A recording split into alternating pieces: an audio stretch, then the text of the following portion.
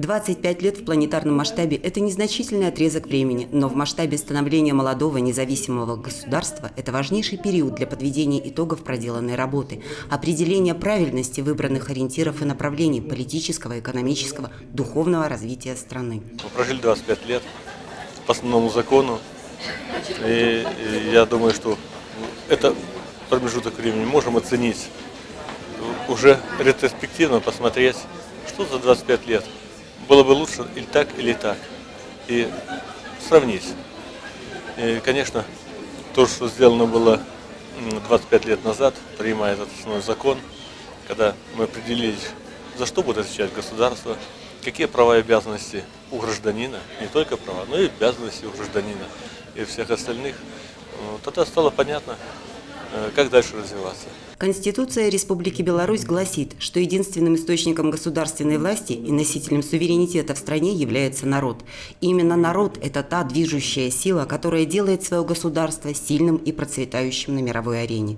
Именно народ своими достижениями в литературе, науке, искусстве и спорте прославляет имя молодой Беларуси уже стало хорошей традицией в этот праздничный день в рамках всебелорусской акции «Мы граждане Беларуси» вручать паспорта юношам и девушкам учреждения образования Ленинского района нашего города. Официально дается первый документ, потому что еще нет аттестата нету, еще нет диплома, еще нету э, других документов. А вот первый документ, и ты полноправный гражданин этого государства, у тебя есть документ, который ну, во всем мире ты можешь ее э, предъявить.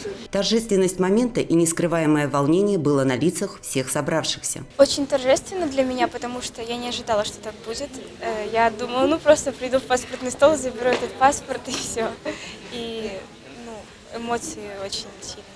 Также в этот день благодарственными письмами от администрации Ленинского района города Бреста были отмечены лучшие представители талантливой молодежи в творчестве и спортивных достижениях. Активно участвую в различных музыкальных конкурсах и буквально две недели назад я приехала с э, открытого республиканского конкурса в городе Молодечно, он проводился, и э, я там заняла гран-при, главный приз, то есть своей старшей категории.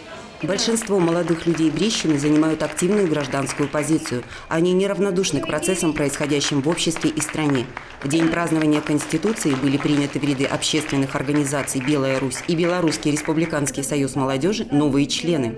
Активная молодежь – это, можно сказать, у нас. Когда э, произносили имена и читали про каждого учащегося, везде э, говорили БРСМ. Каждый учащийся он видит, что происходит и что делает Белорусский республиканский союз молодежи, а также до этого что делали.